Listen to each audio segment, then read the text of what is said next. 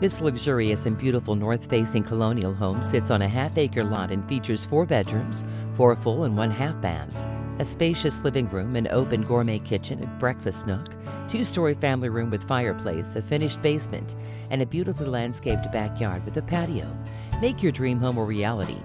by calling Pallavi Gandhi